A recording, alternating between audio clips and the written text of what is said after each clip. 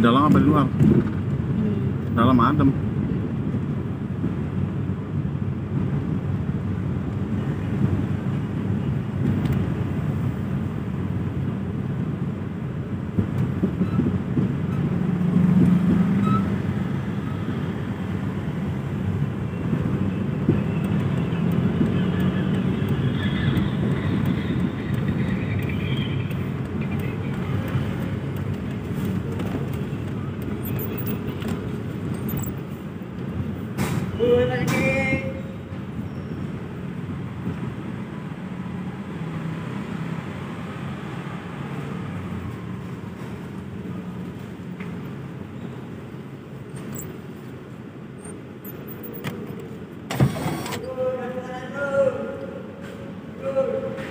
Vâng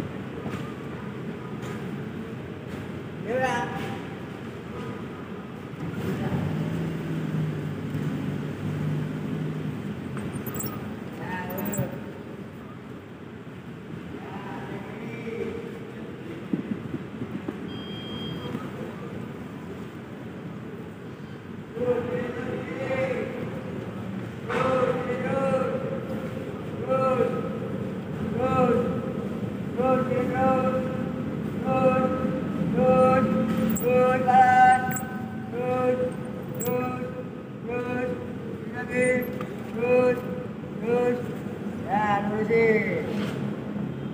Ah, udah pak.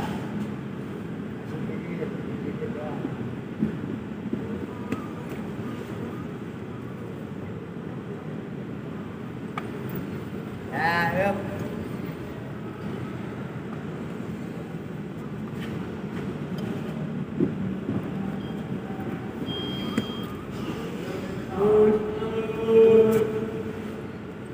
Yeah, yeah. Amen.